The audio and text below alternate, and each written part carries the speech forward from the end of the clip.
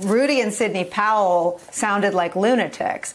I mean, put aside the hair dye streaming down Rudy's face, the things he was saying were so demonstrably false that last night Tucker Carlson over on Fox called BS on this team that um, Phil just described. These these lawyers who aren't even associated with some of the lawyers who've associated themselves with Trump's other trespasses. Uh, I, I, want your thoughts on that. I also want your thoughts on, on the process. Um, the certification and some of the key states today in Georgia, and the Republican Trump supporting Secretary of State is holding the line on democracy and on the vote there and certifying Georgia's vote for Joe Biden. Uh, next Tuesday is Nevada's deadline. Monday the 30th is Arizona, and Tuesday, December 1st is Wisconsin. Do you, do, you know, someone said to me last night that we're overestimating Trump if we think he has a strategy or even knows when all those dates are. But what do you what do you think the next um, few days hold for our country and our now fragile democracy? Well, Nicolle, it's infuriating that we're even having to talk about certification deadlines in a race that wasn't that close. So we should be well into the Biden transition now. Trump had conceded and beginning to plan how to manage the dark winter that's coming for he and his family. But based on the certification deadlines, uh, by the end of the day Monday, uh, he will be certified in enough states, Joe Biden, to have over 270 electoral votes. Uh, doesn't mean that Trump won't continue to try and raise money uh, in the biggest grift in American history. That will continue. Um, but the, I think the story here is these two Republican legislators.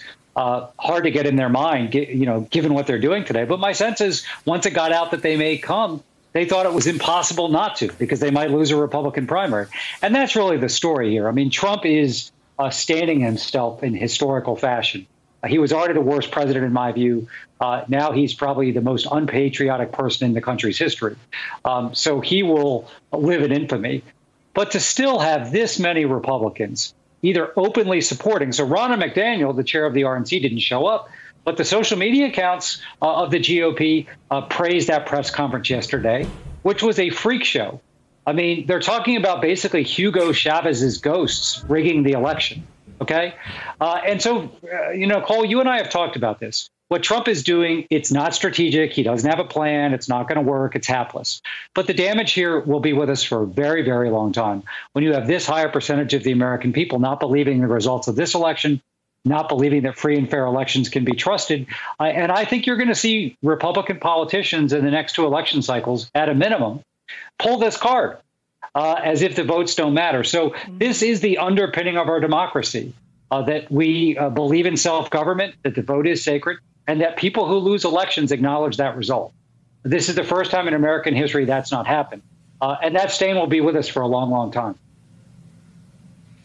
Um, I, I, agree. I, I, someone said to me last night that losing um, takes a bigness that Donald Trump is not capable of.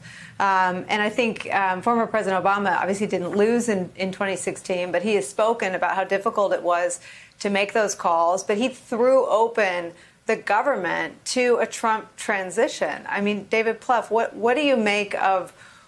It's it's it's not just a freak show without doing terrible harm, not just in the long term to our democracy, but in the very short term to our ability to respond to the COVID pandemic and our ability to have continuity of government in the national security agencies. Trump is doing real damage right now.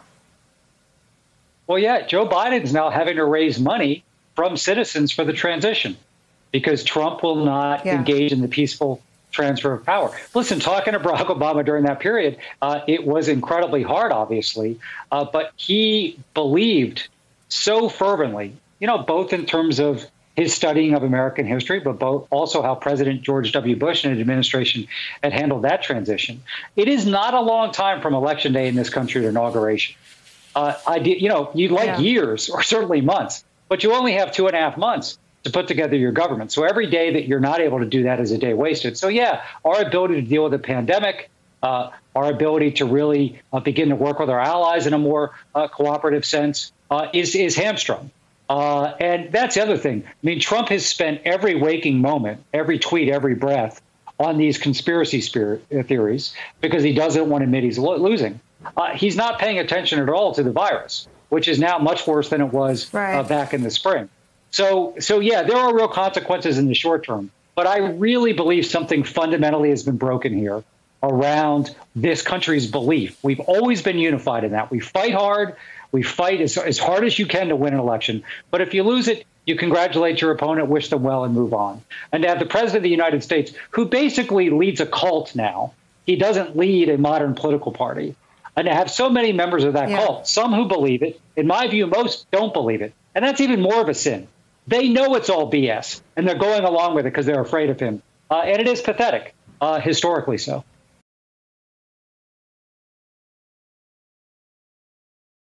Hey there, I'm Chris Hayes from MSNBC. Thanks for watching MSNBC on YouTube. If you want to keep up to date with the videos we're putting out, you can click subscribe just below me or click over on this list to see lots of other great videos.